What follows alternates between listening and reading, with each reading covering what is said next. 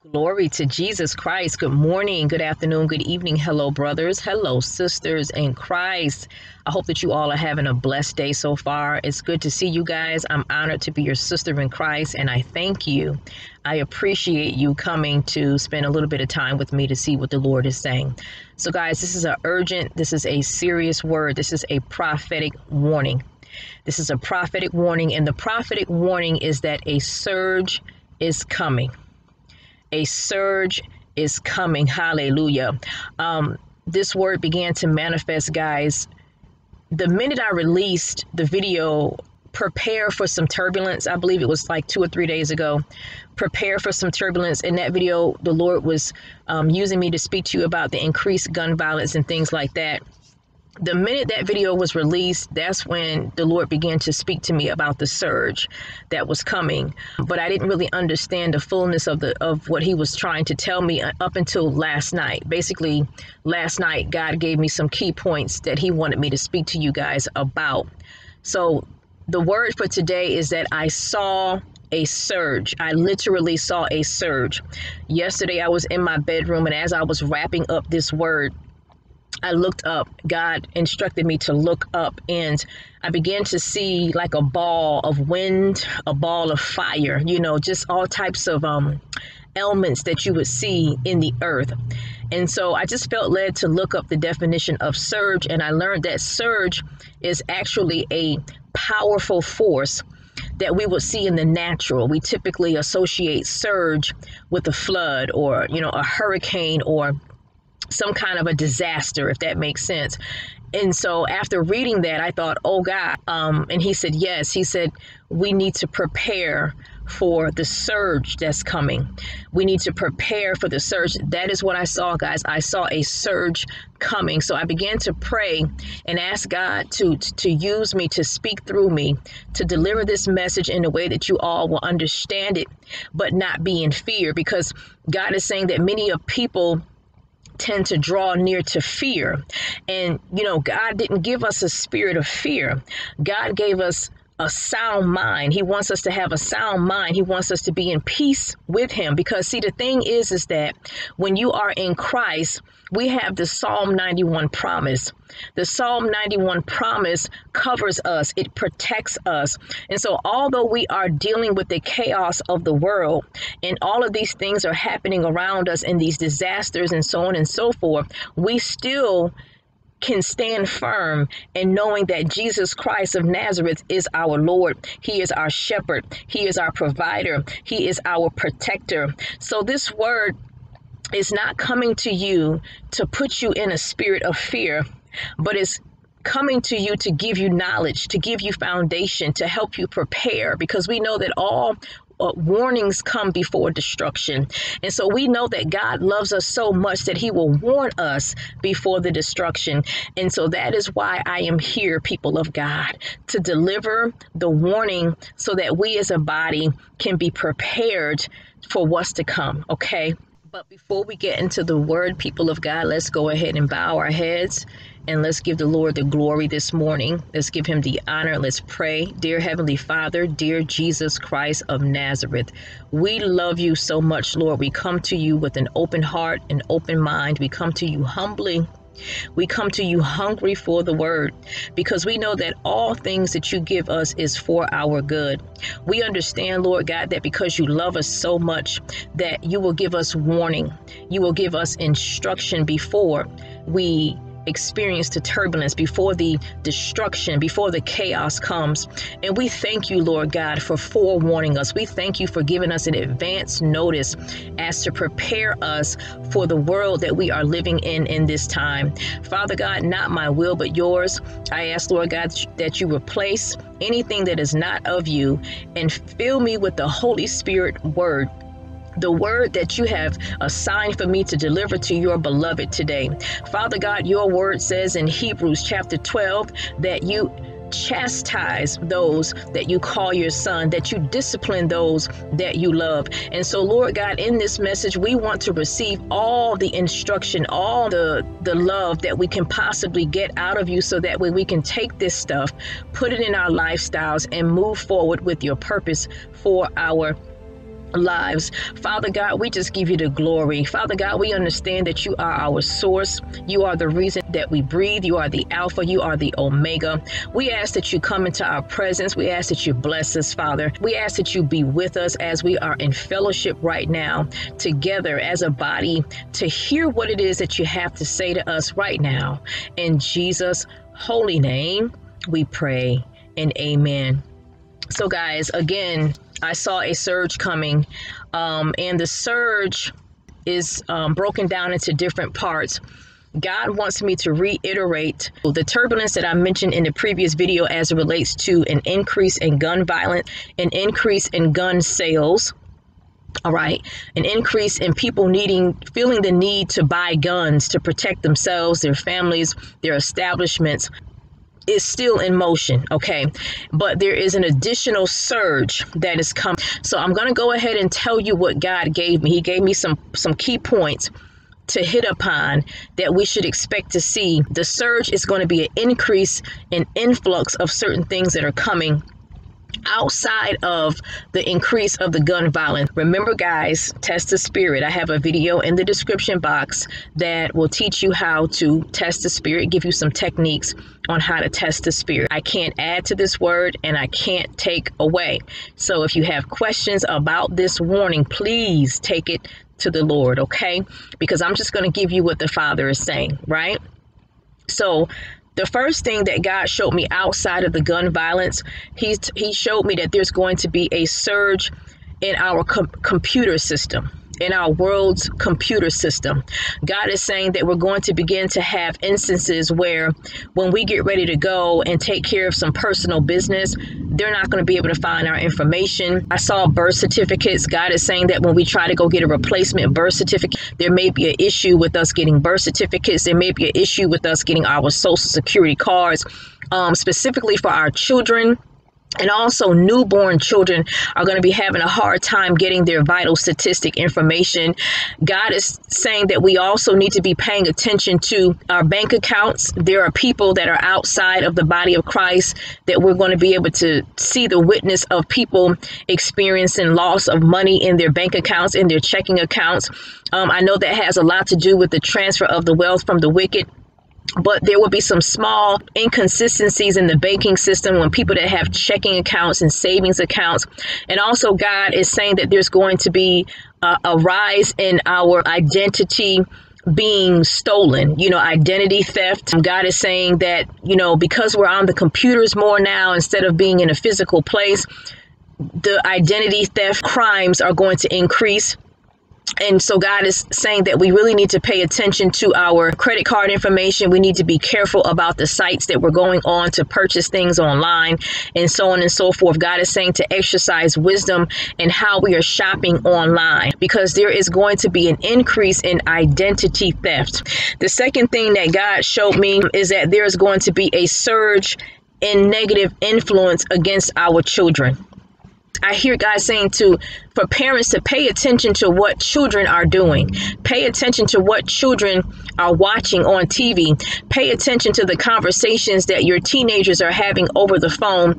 Check their phones, check their pictures, check their text messages because the enemy is filtering itself through the devices of what our children use to watch videos, to listen to music, and things like that. God is saying that we need to be paying attention to the type of programs that our children are watching. And also, there's an influx of abuse. We've heard that there's been a lot of um, domestic violence that has taken place since the COVID 19 as it relates to relationships, husband and wives, but there's also an increase in abuse, sexual abuse towards children.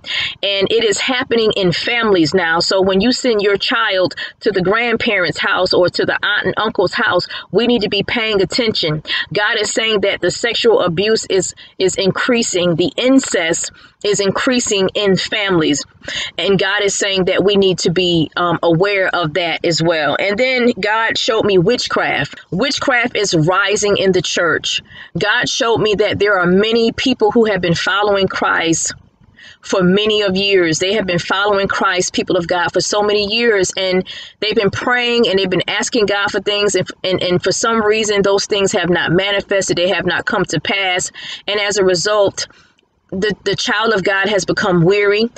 And so they are resorting to other means to try to get what they think that they're supposed to have. God showed me that many of us are consulting mediums and psychics. Some of us are researching witchcraft online. We're researching certain type of prayers that we think that we can pray to get things going because we have seen that the enemy has been able to succeed, but we're not. And so we are deciding to kind of step into the realm of witchcraft is what I hear. God is saying that we're going to begin to see an increase of witchcraft in the church. People are not going to be prophesying from the Holy Spirit anymore. People are not going to come to you from the Holy Spirit, but they're going to be coming to you from a spirit of divination, a spirit of familiarity. Hallelujah. And God is saying that we must ask him for the discernment. God is saying that we have got to be discerning. This is a time where we have got to test the spirit. This is a time where we should be paying attention and observing the fruit of the person that is feeding you the word of God observing the fruit of the people that are prophesying over you. We have got to pay attention to the people that we're following, the churches that we're joining, and we need to make sure that we are consulting with the Lord concerning the people that we are receiving into our lives, even paying attention to the people that are praying over us. Hallelujah. Because not everybody can pray over you, child of God. Paying attention to what is happening in the prayer call, what is being said, paying attention to how um, that person is uh, delivering the message, making sure that it matches up with scripture, making sure that it is biblical, because there are many children of God who started out with God. They started out with Jesus Christ, and now they have resorted into witchcraft. Okay. And so the word that's in the Bible that talks about how even the elect will be deceived in these last days is true. There are many of us, and I fell prey to this too, guys. Okay. Many of us need to reevaluate our connections and who we're following in this hour as it relates to ministry, as it relates to the church, because there are many that are falling prey to witchcraft. And then the last thing that God showed me was our food supply. He says that our food supply is there's going to be a shortage in food supply. At some point in time we are going to begin to see a shortage in our food supply but also contamination and we are already seeing that guys where there are certain meats there are certain fruits and there's certain vegetables that are being taken off the shelf because they found bacteria. It makes the food not safe to eat. God is saying that we need to pay attention to our food we need to pray over our food. We need to ask God to bless our food, to cleanse our food, to sanctify our food before we intake it. We need to be checking our food, wash your fruits and vegetables, your chicken, your meat. Make sure you're cooking your food at, at the temperature that is recommended, okay? Pay attention to the expiration dates, pay attention to the smell of your meats. If you're a meat eater, stick within a diet that is low in certain things that are known to be contaminated. So if you're if you're seeing that, for example, blueberries are always contamination, well then don't buy them. You know, if you're seeing that the chicken, something's always going on with chicken, they're always taking it off the shelf or they always have a news broadcast about chicken, well, then don't buy the chicken. You know what I'm saying? This is a time that we'll be exercising wisdom. We should be exercising wisdom and making those choices because wisdom is what gives us the perceptive on how to make choices for our lives. And the purpose of that is to help us stay safe, to keep us from out of harm's way. So that is what God showed me that the surge is coming, the surge. And also, there's going to be more chaos. There's going to be more chaos. And guys, you already see that the COVID 19 has actually increased. And so, we can say that that's another part of the surge but you all can see that with your own eyes that the COVID 19 has actually gotten worse. And I just put a video in the community section of this channel, and it's called um, The Trickery of the Enemy. This is something that I had spoke to you guys about. I released a word where it talked about how when we were going through the riots and the anger, how we were exposing ourselves to the COVID 19. So when you guys get a chance, watch that video again, and that will give you the answer as to why we're dealing with the increase in the COVID 19. So, people of God, that is what the word is for today. We are going to see a surge. There is a surge coming in the areas that I just discussed, in the areas that I just pointed out. And, people of God, I'm just going to go ahead and say this. I hear the Spirit of the Lord saying that, you know, we got to stop playing it safe, people of God. We got to stop playing it safe. And I know some people are going to come for me or come against me because I'm saying what I'm saying, but it's okay because I am saying this from the heart of God. I'm saying it from a spirit of, of, of love and compassion. I'm not coming to you with condemnation because I am not perfect. I myself fall short of the glory of God. And this word is applicable to me and my family as well. So I am not exempt from what's being said today. But I just hear the Spirit of the Lord saying, to stop playing it safe. We're sharing prophetic words that speak about blessings, that speak about promises, that speak about what we're going to get and all this other kind of stuff. But the minute the Lord uses the prophet to speak to you about what's important, which are disasters, which are the times, the seasons that we're living in, in the end times, then all of a sudden, there's no interest. All of a sudden, nobody wants to hear it. Nobody wants to recognize the times that we're living in. And God is saying that we have got to stop playing it safe because, again, Warning comes before destruction. So we need to take a balanced approach to the church. Yes, God is releasing miracles, He's releasing blessings, He's releasing all of those things to us, even as we are in the storm, even, even as we are living in the end times, because we have to have these things to be able to pursue the mission, which is to win souls for the kingdom of God, to work for God, to work for the kingdom. Yes, we have to have these things, but we also have to be mindful right? The times that we in. We cannot ignore the times that we're in. We cannot act like we can't see these things happen. We can't turn off the TV because somebody is is being used by God to speak to you about the warnings. Some because God is using somebody to speak to you about the times. We are in the end times, people of God. And the Bible teaches us that these are the things that we are going to encounter during these times. And so, as a servant of the Lord, as someone that hears from God, that speaks on behalf of God, it is my job to deliver these words to you. And it's not to make you feel condemned. It's not to make you feel like you're not worthy. It's not to make you feel like I'm better than you because I'm not. It's because I'm doing my job. It's because I'm doing what God called me to do. It's because I have to be obedient, right? And tell you guys. You know, I think about Jeremiah. Jeremiah was called as a prophet, and God told Jeremiah that the people were not going to listen to him. But at the end of the day, God still called Jeremiah to, to prophesy to the people, even though God knew that the people weren't going to listen. The purpose of that was that God need the people to understand that if you don't listen, that's on you. But know that I have sent my prophet to give you the word. And so when the destruction comes, when the chaos comes, you cannot deny that you never heard the word. You cannot deny that you have not been forewarned about what's coming. Okay, so guys, I'm not saying that this is you. I'm, by no means, I'm just putting this out here. Just make sure that when you are listening to prophetic words, whoever you're following, that there is a balance. There is a balance. If you're hearing uh, blessings and promises all the time and you're not hearing words of instruction, words of correction, words of warning, then something is not right. People of God, we are in the end times. We are experiencing destruction. We are experiencing chaos. We are experiencing all kinds of things in the earth, and we need to be aware of it. Okay? So, God didn't give us a spirit of fear, however, during this time. And we are to take hold of our Psalm 91 promise. What does the word say? The word says that as we dwell in the shelter of the Most High, as long as we do that with the whole heart, we stay in the presence of the Lord. What does the word says? The word says that the enemy will not come near our tent, but we will only be in position to see the judgment of the wicked. And God will even dispatch his angels concerning us so that we do not hit our foot against the stone. We have Psalm 91 promise over our lives. And as long as we are in the presence of the Most High God, it doesn't matter what's going on around us. It doesn't matter what's happening around us, people of God. We are still going to prosper. We are still going to move forward. We are still going to have the ability to fulfill the mission that God has on our lives. Okay. We are still going to have, be able to have joy. We're still going to be able to have peace, even in the midst of the chaos. Why? Because as we are in the world, we are not of this world. Okay. And if we do come into contact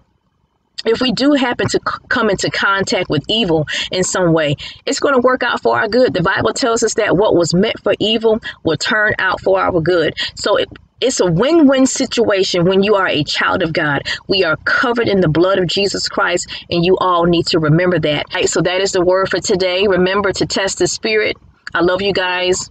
We are here on purpose to glorify God in Jesus' holy name. I love, love, love you guys. I want you to be blessed. All right. Remember to share this video with someone that you think needs to hear it.